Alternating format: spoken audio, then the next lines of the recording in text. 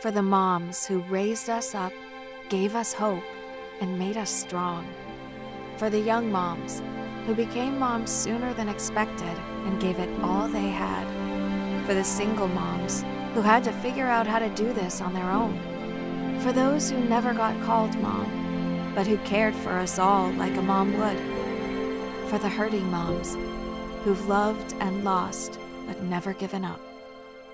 For the praying moms who don't always know what to do, but always know who to talk to. For the working moms, stay home moms, the cooking moms, and the takeout moms. For taking care of us when you barely had enough time to take care of yourself. For teaching us how to walk and how to make a difference. For the late night snuggles and the early morning pancakes. For sitting with us after our first breakup.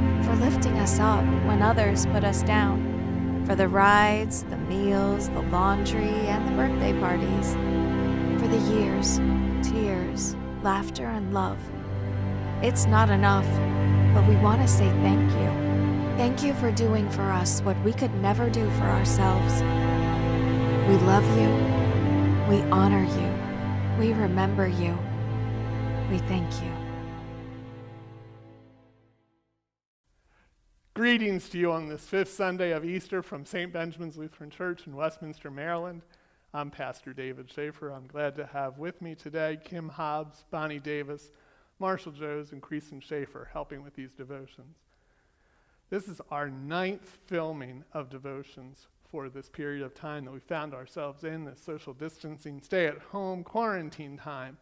Uh, I don't know about you, but I'm ready to be back here in this place and in this space together with you all. That is hopefully coming soon. In the meanwhile, though, we have these devotions provided. Um, we use the ELW for our limited liturgy, for our hymn singing, and so on and so forth. If you have an ELW at home, you're certainly welcome to grab that off the shelf and use it. If you have an LBW, the hymnal that preceded our ELW, and you have that, we're going to try to include hymn numbers um, as we go that might be also cross referenced in the LBW, so you can turn to those and follow along if you're a music reader. We also make available to you the opportunity to purchase an ELW. We could arrange in some way, shape, or form to have it mailed to your home if you would give us the funds to purchase it. And I did a little bit of homework and found that a pew edition, one like we have here in the pews at the church, costs $25 a piece. $40 for a nice little pocketbook size one, and $22.50 downloadable to your iPhone. So, just in case you wanted to know or have those opportunities. We begin our service, our time together, with the prelude for today.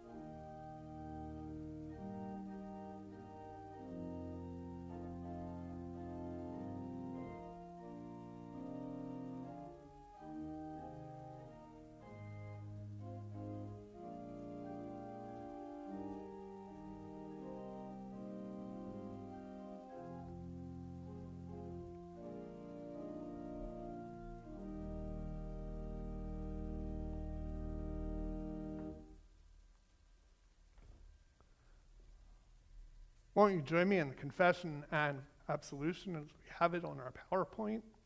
Blessed be the Holy Trinity, the one God who forgives all our sin, whose mercy endures forever. Amen. Almighty God, to whom all hearts are open, all desires known, and from whom no secrets are hid, cleanse the thoughts of our hearts by the inspiration of your Holy Spirit, that we may perfectly love you, worthily magnify your holy name, through Jesus Christ our Lord. Amen we pause in confession.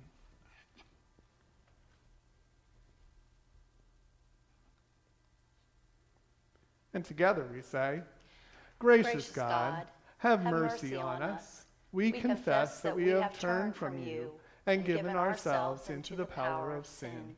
We are truly sorry and humbly repent. In your compassion, forgive us our sins, known and unknown, things we have done and things we have left to do. Turn us again to you and uphold us by your Spirit, so that we may live and serve you in newness of life. Through Jesus Christ, our Savior and Lord. Amen. God, who is rich in mercy, loved us even when we were dead in our sin and has made us alive together with the Christ. By grace we have been saved, and in the name of Jesus Christ our sins are forgiven. May Almighty God strengthen us with power through the Holy Spirit that Christ may live in our hearts through faith. Amen. Opening hymn 558 in the ELW. Let us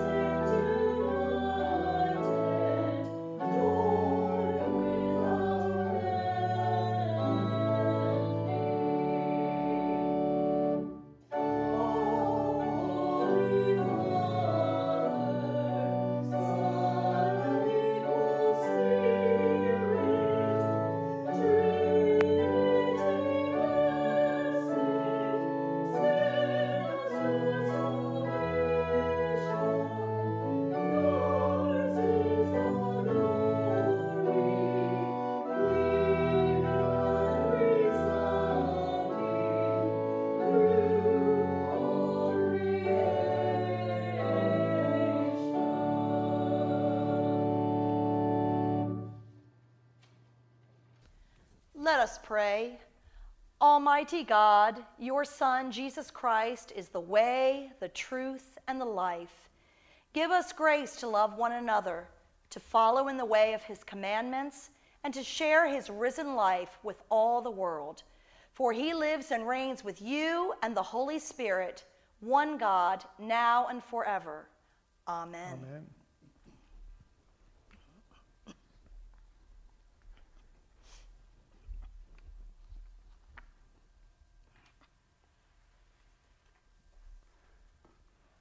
So, my friends, if you have a tote at home that contains some building blocks, now's a good time to go and get it.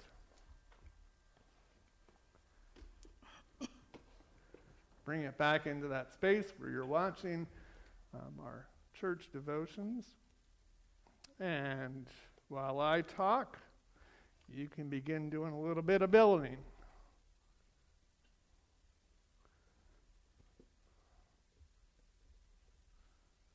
Making a wall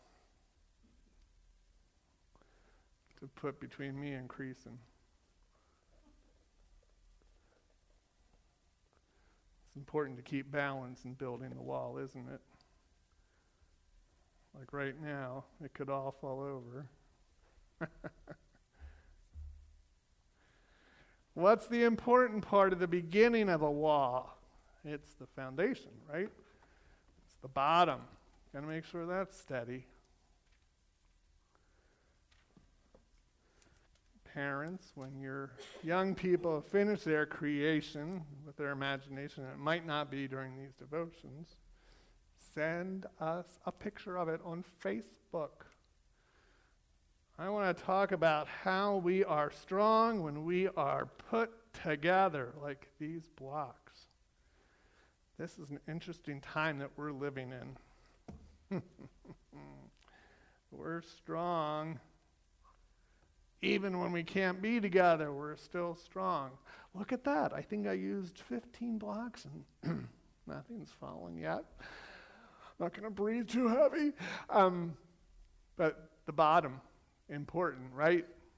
Our faith in Jesus, the very basic part of the law here, this structure that was built. And then all of us being part of this creation, all of us being important supporters of the rest of this wall.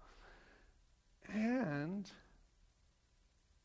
we have the wonderful opportunities that we have in these days of being inside with just our family or maybe having a, a visitor or two, but have a really great opportunity to be Jesus for others and to be strong and to be building one another up in Jesus the Christ. Please take pictures of your creation, your building block creation today. Send it to us on our Facebook page, our St. Benjamin's Facebook page. Post it there. We got a couple of door pictures last week after uh, seminary and Jason's um, challenge to us to do some ideas of how Jesus is the door He's the gate for us. And he invited us to draw pictures of our doors, whether they be the doors to our house, or doors inside, or the doors to the rest of the world, looking from the inside out. So, here again, another opportunity to put your artistic talents to, to work. May God be with you in your building up one another and our world in Jesus. Amen.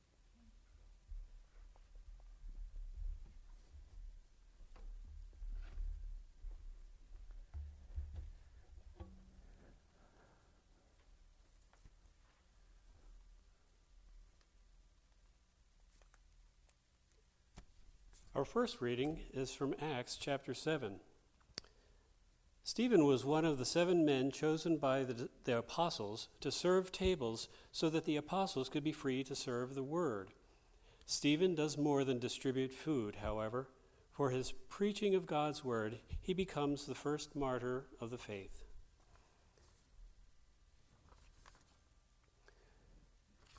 But filled with but filled with the Holy Spirit, he gazed into heaven and saw the glory of God and Jesus standing at the right hand of God. Look, he said, I see the heavens opened and the Son of Man standing at the right hand of God. But they covered their ears, and with a loud shout, all rushed together against him. Then they dragged him out of the city and began to stone him, and the witnesses laid their coats at the feet of a young man named Saul. While they were stoning Stephen, he prayed, Lord Jesus, receive my spirit. Then he knelt down and cried out in a loud voice, Lord, do not hold this sin against them. When he had said this, he died. Word of God, word of life. Thanks be to God. Our psalm for today is Psalm 31, verses 1 through 5 and 15 through 16. And the refrain, if you can join me with that, will be Into your hands, O Lord, I commend my spirit. In you, O Lord, have I taken refuge. Let me never be put to shame. Deliver me in your righteousness. Into your hands, O Lord, I commend my spirit. Incline your ear to me Make haste to deliver me. Into your hands, O Lord, I commend my spirit. Be my strong rock, a castle to keep me safe. For you are my crag and my stronghold. For the sake of your name, lead me and guide me. Into your hands, O Lord, I commend my spirit. Take me out of the net that they have secretly set for me, for you are my tower of strength. Into your hands, O Lord, I commend my spirit. Into your hands I commend my spirit, for you have redeemed me, O Lord, God of truth. Into your hands, O Lord, I commend my spirit. My times are in your hand. Rescue me from the hand of my enemies and from those who, pers- her, who persecute me. Into your hands, O Lord, I commend my spirit. Let your face shine upon your servant. Save me in your steadfast love. Into your hands, O Lord, I commend my spirit. Our second reading is from 1 Peter chapter 2. Christ is the cornerstone of saving work and the foundation of our lives. We are God's chosen, holy people who continuously celebrate and declare the mercy of God we experience through Jesus Christ.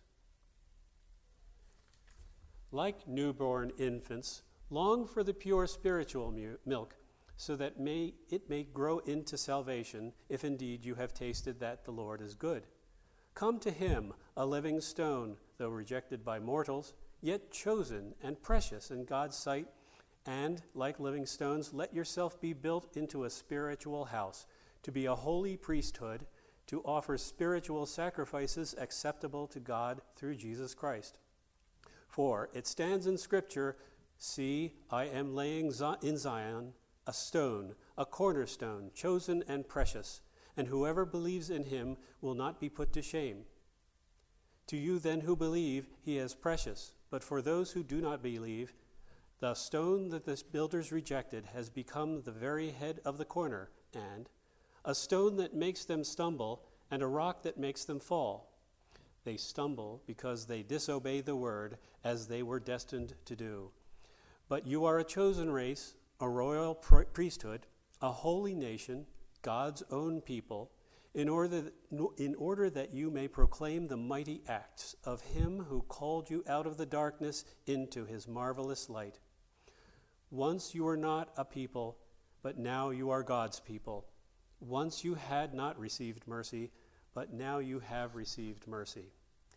Word of God, word of life. Thanks be to God.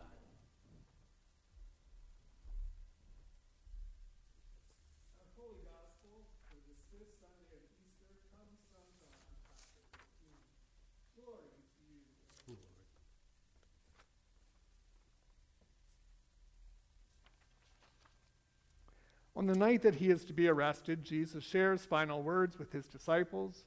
As the one through whom God is known, he promises to go before them and act on their behalf.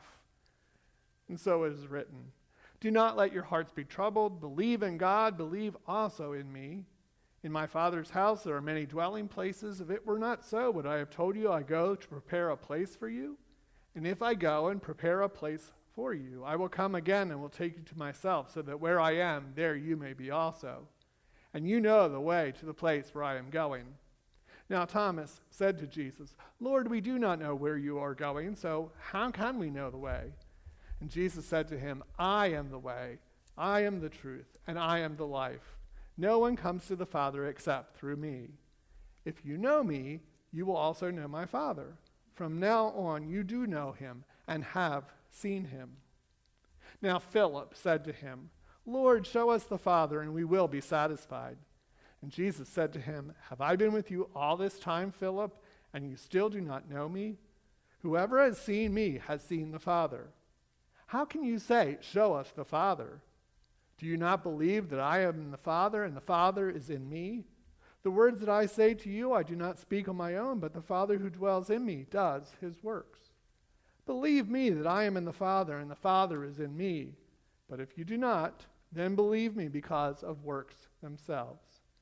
Very truly, I tell you, the one who believes in me will also do the works that I do, and in fact, will do greater works than these, because I am going to the Father. I will do whatever you ask in my name, so that the Father may be glorified in the Son. If in my name you ask me for anything, I will do it. This is the gospel of the Lord. Praise to you, O Christ. Christ is risen. He is risen indeed. Alleluia.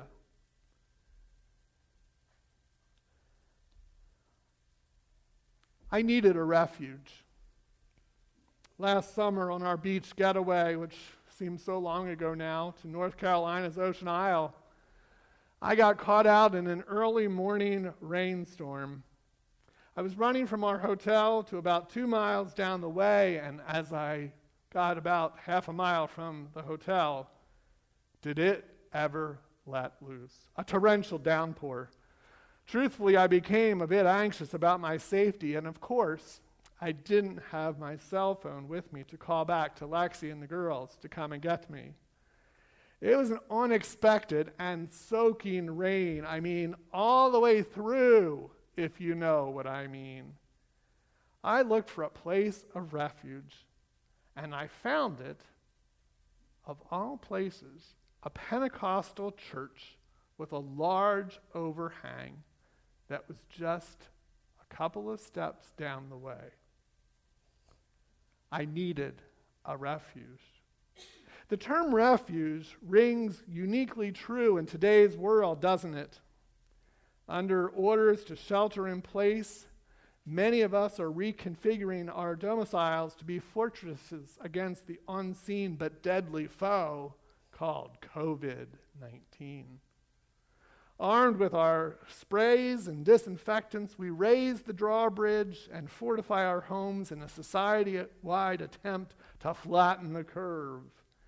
And when we go out, well, we're a little bit more than careful with the armor that we don our masks, and for some of us, our gloves. This week's readings also deal with the topic of refuge. For the psalmist, God is a refuge from danger. And John's Jesus offers heavenly shelter to his disciples' troubled hearts, promising to prepare them for a heavenly home. In Acts 7, which Marshall read, the martyr Stephen takes refuge in a glorious vision of the heavens even while he's being stoned to death. And in 1 Peter 2, the reader is urged to seek shelter in restraint from the desires of the flesh that wage war against the soul. Today's texts remind us that to live on this earth these days is to live in a complex place, at times seemingly like a war zone, and we're looking for a refuge. Nobody says it better than Martin Luther himself whose own times were afflicted by pandemics and plagues. It's in the words of A Mighty Fortress, the Lutheran national anthem that Luther wrote. And though this world with devils filled should threaten to undo us, we will not fear, for God hath willed his truth to triumph through us. The prince of darkness grim, we tremble not for him, his rage we can endure. For lo, his doom is sure. One little word shall fell him. As this current pandemic makes clear, some members of our society struggle to endure the rage of the pandemic more than others. Part of our struggle against COVID 19 is to acknowledge and address the needs of those who are particularly vulnerable to the virus's cruel consequences. Now's the time to honor the fifth commandment, which Luther interprets in this way We should fear and love God so that we do not hurt or harm our neighbor in his body, but help and support him in every physical need. We wear masks and we keep social distance. We shelter in place and socially isolate for important reasons, not only for our own health, but also for the health of others. This week's text could not be more timely. In this moment of heightened anxiety, it is important to remember that true peace, the peace of the gospel, does not come from our vain attempts to protect ourselves from earthly harm. No leader, vaccine, or test can truly bring peace. These are important and necessary measures for the flourishing of life in this world, as Luther makes clear above, but they do not bring us the peace of Christ. The peace described variously in this week's text does not depend upon a calm storm, the end of adverse conditions, or the removal of distress. To the contrary, the peace of God holds us safely even while we are beset as a city under siege or suffering from the lashings of contentious tongues. The psalmist in Psalm 31 invites us to trust because we know that my times are in your hands. This is not merely a resignation to fate, it's a deep trust in the goodness of God, even when God's goodness seems to be hidden or obscure. In John 14, Jesus addresses those troubled disciples.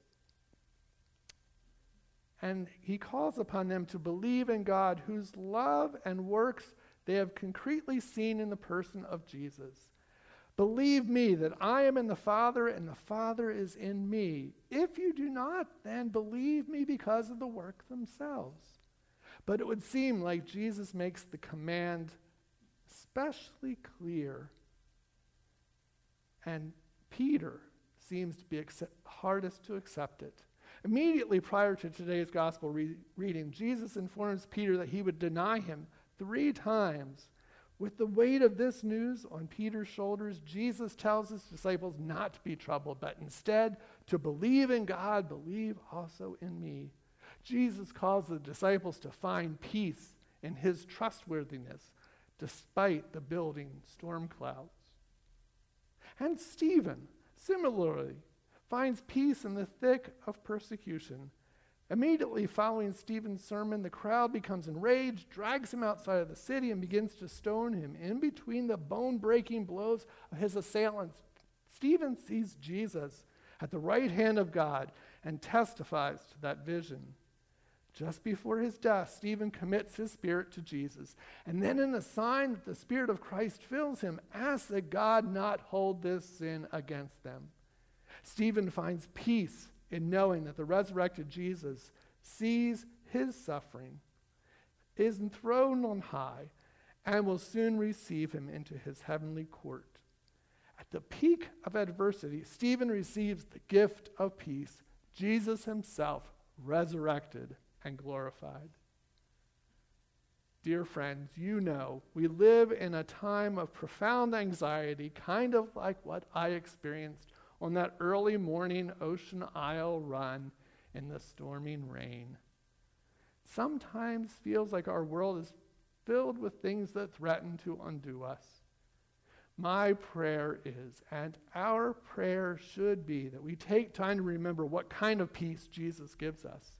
It's the kind of peace that prevails in the thick of the battle. It's the kind of peace that looks at death and sickness and illness and knows that they have ultimately be have been conquered in Christ's own body.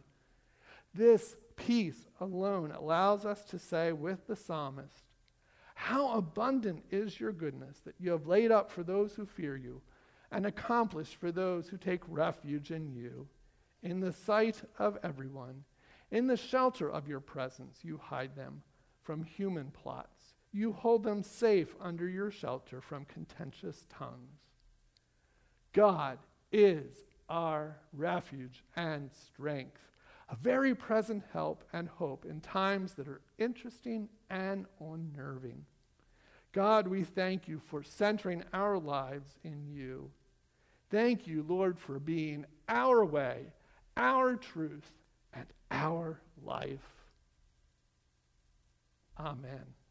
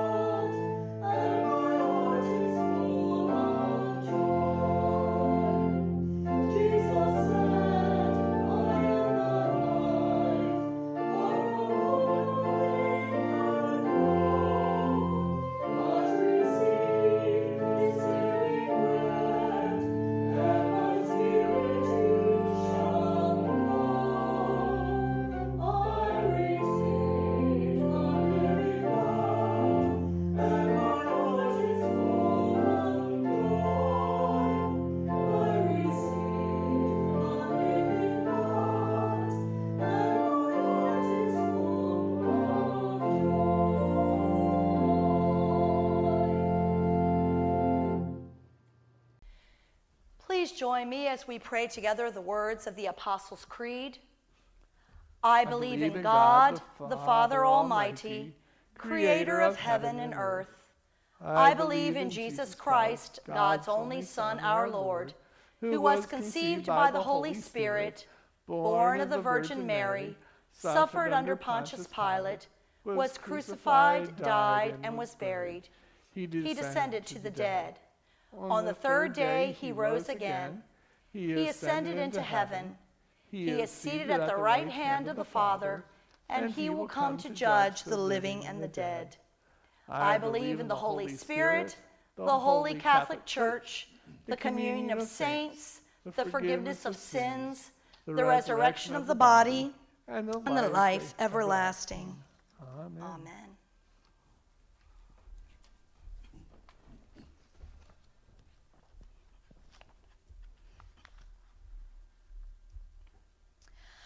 Uplifted by the promised hope of healing and resurrection, we join the people of God in all times and places in praying for the church, the world, and all who are in need. Build us up, mothering God, as living stones united in your spiritual house. Continually strengthen your church as it is sent forth to proclaim your love. We pray especially for new congregations and those in redevelopment. Lord, in your mercy, Hear, hear our prayer. Humble us, Creator God, as part of your creation. Fill us with respect and awe for the world you have made, including volcanoes, ocean currents, tropical rainstorms, glaciers, and other forces that both destroy and create. Lord, in your mercy, Hear our prayer. Align our ways to your love, O God. We pray for countries, leaders, and other organizations as they prepare places for those seeking refuge and safety. Lord, in your mercy, hear our prayer. God of healing and rest, help those whose hearts are heavy and weighed down by many troubles. Comfort their suffering, ease their distress, and carry their burdens. Lord, in your mercy, Hear our prayer. Nurturing God, we pray for those who tend and teach young children, for the safe pregnancies of expectant parents, and for families who struggle with infertility and miscarriage. We give thanks for all who have shown mothering care, and we remember all for whom this day is difficult. Lord, in your mercy, hear, our prayer. Generous God, you call into your brilliant light all who have died. Give us faith to take hold of the promise of your eternal life. Lord, in your mercy, Hear our prayer. With bold confidence in your love, Almighty God, we place all for whom we pray into your eternal care. Through Christ our Lord. Amen. Amen. Amen. We are bold to pray that prayer our Lord taught us to pray. Our, Our Father, who art in heaven, hallowed be thy name. Thy kingdom come, thy will be done, on earth as it is in heaven. Give us this day our daily bread, and forgive us our trespasses, as we forgive those who trespass against us. And lead us not to temptation, but but deliver us from evil. For thine is the kingdom, and the power, and the glory, forever and ever. Amen. Now may God, who has brought us from death to life, fill us with great joy. May Almighty God, Father, Son, and Holy Spirit bless us now and forever. Amen. Last hymn, two, excuse me, 380.